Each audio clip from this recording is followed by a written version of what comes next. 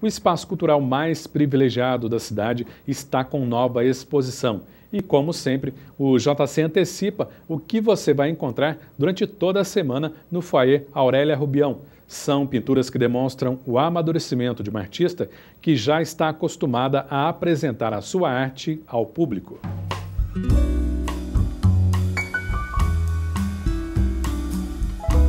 Quadros de diferentes tamanhos e estilos que transmitem a quem observa uma mensagem única.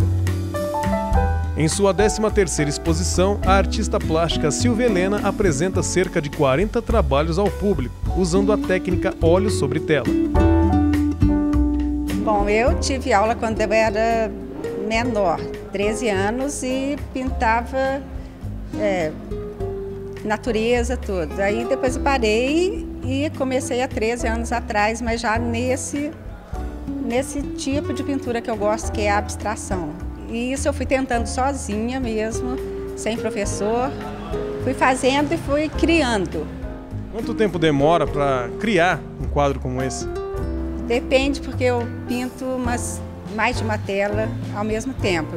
Umas quatro, cinco telas. Então, fica uma semana, dez dias, aí consigo terminar todas essas telas. Utilizando pinturas nos estilos moderno e abstrato, Silvia apresenta uma novidade esse ano. Esse ano eu estou com a novidade de óleo sobre papel, que são quadros menores, com vidro e moldura.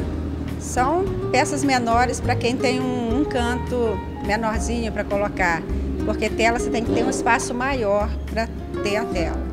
No caso da pintura abstrata, você antes de você começar a pintar, você já sabe qual o formato que ela vai ter? Não, não, formato não sei. Eu sei as cores que eu quero dar para a tela. O formato vai fluindo ao longo da pintura. Não tem como você imaginar o que, que vai sair. É uma surpresa mesmo. Como é o mercado das artes aqui em Varginha? Como que você sente o momento? O mercado de arte, em geral, não é fácil. É, são poucas as pessoas que dão valor e que gostam até da, da arte abstrata. É mais difícil também das pessoas gostarem mas está melhorando bastante e consigo vender bem, graças a Deus.